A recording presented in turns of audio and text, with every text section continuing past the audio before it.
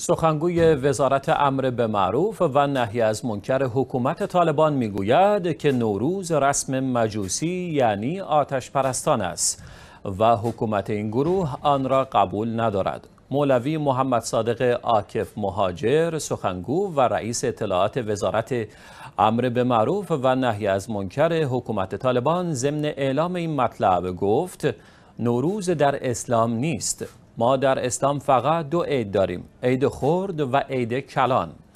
عید دیگری به نام نوروز در اسلام نیست. و افزود عید نوروز مختص به مجوسی هاست و ضرورت نمی بینم که نوروز را برگزار نماییم.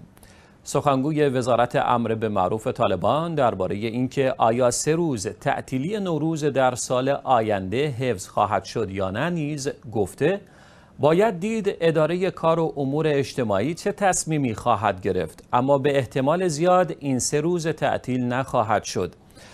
در همین حال روز گذشته شاروالی طالبان در مزار شریف از آمادگی این نهاد برای برگزاری جشن سالانه نوروز در این شهر خبر داده است.